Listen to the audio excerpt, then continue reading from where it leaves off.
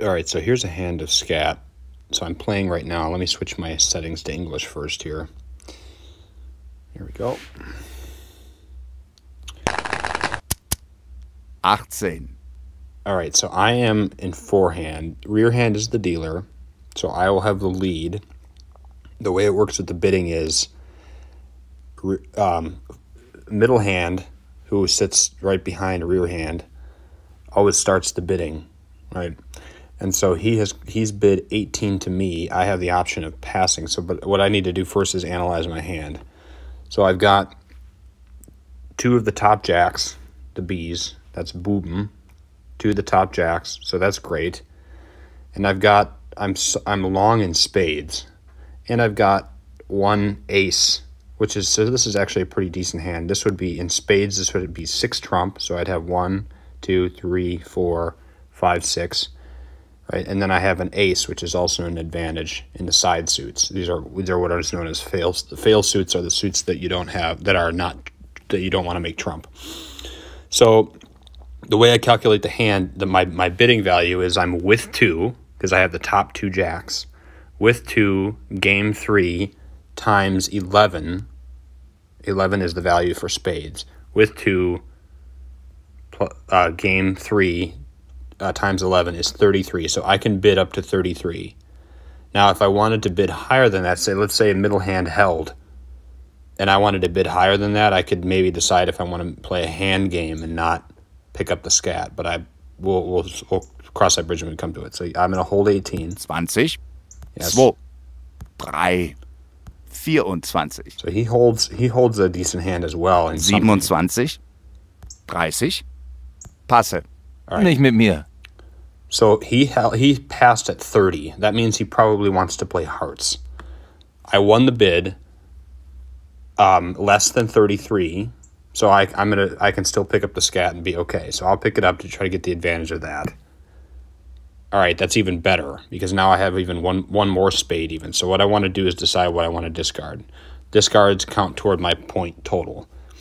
So I want to short suit myself if I can, so that I don't so that I'm free in as many suits as possible so that I can trump. So I'll throw the 8 down. The ace the ace king I can probably hold on to that although the king I might lose. Uh, but you never know. So I'll I'll throw one of these worthless cards off a 7. All right, so I discard those. So I don't have any points in my in the in my discards now cuz the 7 and the 8 aren't worth anything. But I'm going to call spades, right? Now I have 7 trump including the two top jacks, and then an ace king combination, uh, which is somewhat strong, and then the eight. This is actually a really good suit suit game hand, so I'm going to call spades. Okay, and I also have the lead because I'm forehand. I'm sitting in front of the dealer. So my goal now, I'm playing against the other two guys. I want to try to get at least 61 card points, to accumulate 61 card points. And I do that by playing my hand correctly. Uh, I don't know obviously what they have, but I can I can probably count on some kind of some kind of trump distribution between the two of them. So I have seven trump. There's eleven trump in the game, meaning um, seven spades in total, plus four jacks. Okay, so what I want to do is I want to try to lead as the as the player as the picker or the declarer you always want to try to, to play trump and try to draw the trump out from the other two players to try to maintain control of the hand. So what I want to do is I'll play low to try to suck out some more trump and then I can my plan is going to be to play low. I I know I have I have 7 trump, those guys have 4 trump between them. Um so I want to try to suck out that trump and I can do that by playing the seven first and then the two top jacks. And by that point in time, all the trump should likely be out unless one guy has trump. All and the other guy doesn't have any, which is not an ideal situation, but that's probably not going to affect us here. So I'll play this. So that's so I keep in my head I keep the number four because I know there's four trump out there. There's three two, okay. Now I'm gonna trump in. It doesn't really matter what I play. I'll play I'll play the ten. One zero. All trump are out now. Okay, so the the the other two jacks were played. So now all trump has been pulled. So now I can switch to the fail suits and try to play those. So I'll play my ace. The 10 didn't fall. Aces are worth 11 and 10s, which are right under them, are worth 10. So the aces and the 10s are really what the game revolves around. You want to try to capture those. Um, so I didn't get I didn't get the ace of or the the 10 of hearts like I wanted to, but but I didn't really expect to either. So I'm going to play the 8 and I know they're they're going to try to see they played off points there. So again, I'm going to trump in. I'll play the king, and I know he's going to throw the the 10 down there, and now the rest of them are mine because I have trump. There we go. Du hast gewonnen. Okay, so 70 I made 78. So I didn't make 78 is a basic is the basic game. If I were to uh, may have made 90 points, I would get what's called Schneider and that's an additional multiplier. So here's the calculation of my the value of my hand. I was with 2 game 3, so I bid 33 and I made 78 points, so I made at least 61, less than 90 though, so just a basic win. So I get 33 points. Now I'm the dealer. Nicht mit mir. So middle hand over here on the right has passed. He he has the right to bid first, but he passed because his hand's not very good. So now it comes to me. The forehand is always the listener. In German, the way the way they say it is they start with the dealer is geben, and then forehand is hören, and then middle hand is sagen. That means deal, listen, speak. Okay. And so I know some sometimes it's taught A B C. Forehand is A, which would um, which would be um, oh I forget what they what they call it. Um, but B is the bidding and C is continue. A is I can't remember what the, what the guy called it, but anyway, A is always the the listener. Okay, and so um, so my hand here, and I'm in rear hand, which is somewhat of an advantageous position. Middle hand is the worst because you're in the middle right away. You don't know, you know, what forehand is going to lead to you, and you don't know what rear hand is going to is going is going to play. Whereas in rear hand, I have the opportunity of seeing what the other two guys have played first. Um, I have the top jack, and I have three spades. So that in spades, this would give me five, but I only have a 10 in the side suits. The side suits aren't very strong, so I'm going to actually pass. 18. Ich spiele Grand. Okay, so he's going to play a grand. So that means that only the jacks are trump. So I know that there's two trump out there. There's um, there's the jack of spades and the jack of hearts somewhere. He's probably got both of them. Okay, but so I keep the, the number two in my mind because I know there's two trump out there. There's one fell now. I have to follow suit. Again, this game, just like any trick trick taking game, you have to follow suit if you can. Trump, all trumps are considered a suit. So there's one left. So I'm gonna I'm gonna trump. I'm gonna um, I'm gonna take that. Okay. So now I, my, my decision is what to play here. I've got kind of a mishmash of a hand here, and nothing is super strong. If I had aces, I would play those against him to try to um, to try to get him to drop his other uh, his other jack, or possibly he has a, a um, that suit that he has to follow suit. But I don't have anything, and so I'll play my long suit against him, and I'll play the king. So he he he got over it with an ace. So now he's going to have a lot of aces. He's going to have a strong side, uh, strong hand in, in the side suits. So grands grands are normally one because you usually play them when you have a strong hand. So you can see he's got super strong cards here. All right, there. See, he's he's got a long suit in, in hearts, which is good for a grand because you can just run it right down and run everybody out of those suits. All right. Okay.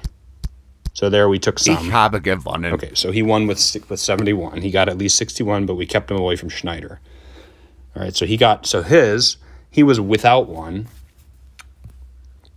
So here's what he played with he had he had he had two jacks, and then here we go. He had three aces, including an ace ten combination, which is always a good sign for grand. Okay, so so that's that was a good. So he was, but he was without one because he held the he he had the sequence was broken after the um, after the club jack. Okay, so he was without one. Game two times 24, which is the value for grand, is 48. So he won the basic grand game for 48 points. Okay, we're also in the lead, by the way. All right. Now I'm in middle hand, which is the worst possible position. However, I have two jacks and three aces, which is a good start. Okay, so I have a couple different options. So I will bid 18. The, the one thing about middle hand is you always start the bidding, right?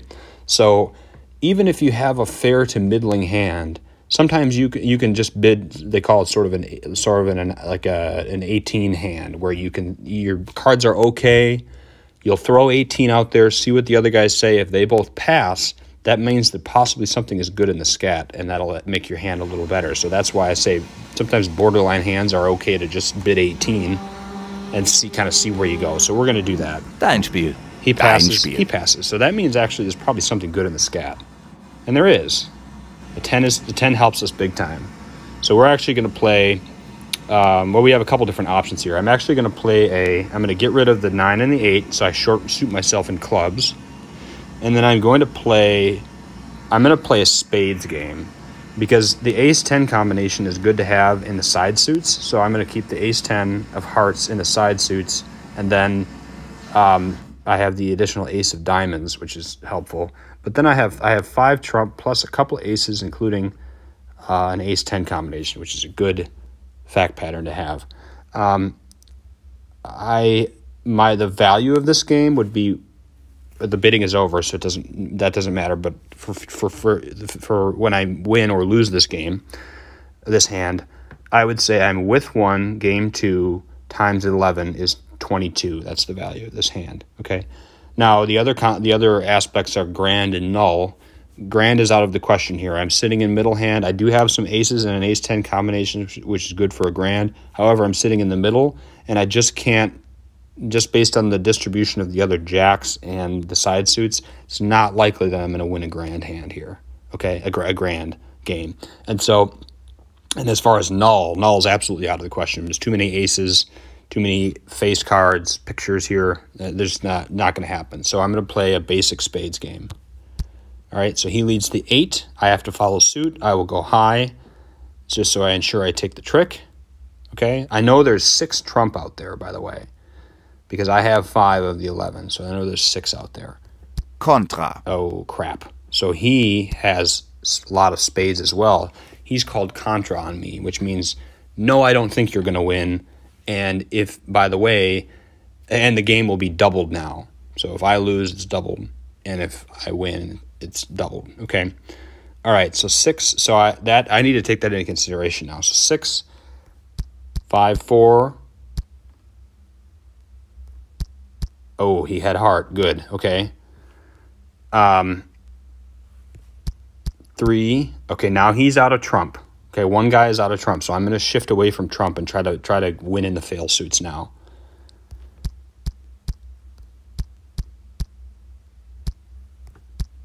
Not good. Two. One. Du hast Oh, gewonnen. I squeaked it by with 66. Okay, I did. I did squeak it by with 66. Now this guy is telling me I could have actually won a grand, which I guess let, let's take a look at that. So maybe I was wrong about the fact that I could have won a grand. I still don't think that's necessarily true because there's just too many gaps there, and there's I've got too many um, exposed cards there, and and I had the top. I had the top. Um, Jack, but I, I don't know. Sometimes the game this this game's recommendations are, are sort of strange. Uh, but you can see who called Contra here, left a rear hand. He had two jacks, including the two middle jacks. He's only missing the top one and the bottom one. And then he had, you know, he has some three strong spades there, and he had a not so good of a, a side uh, hand, but but we won. I mean, and we won maybe because we played that strategically correctly, and when we rec- as soon as we recognized that um, that the one guy had was out of trump, we switched away from it so that we didn't get overrun, and we could maintain our trump strength and try to pull the trump out using the side suits. So anyway, this is that's just a sort of the different considerations for. Nicht mit mir. Oh, hey, let's stick around for this one because this is going to be a, a humdinger right here. Okay, so nobody. So I'm in forehand. That means I'm listening. Middle hand passed. Rear hand then has the opportunity to bid to, to bid further. He also passed. We have a solid, solid hand. We're short suited in two trumps, or excuse me, two suits. We have no diamonds and we have no clubs. Okay. Um, we have a solid spades hand. However, we're in forehand and we have the top two jacks. That means we cannot lose a grand. We cannot lose it because what we can do is, so I'm going to say yes. We can say because we because we have the lead, I can lead with the top two jacks and pull the other two jacks because they have to follow suit. The other two jacks have to fall when I draw these when I when I play these two top jacks. That means I can play this spade suit down from top to bottom and then the hearts. And depending on how the hearts fall as I play the spade what the, in German this is called a Farbflöte a, a, a suit suit flute is what it's called. You have a long um, suit and it's it's great because you can play it from top to bottom. You can draw all the all the other some of the other fail suits out and then if you know if all goes well with these hearts over here I can maybe even cash these in as well so, and I can play this out from the hand. I can play a hand game. I don't even need the Skat to make this game and make this hand any better. This is great. So here we go. Um, and I can even call it go one better and probably even even call it Schneider, although and that might be difficult. Let me just think through that for a minute.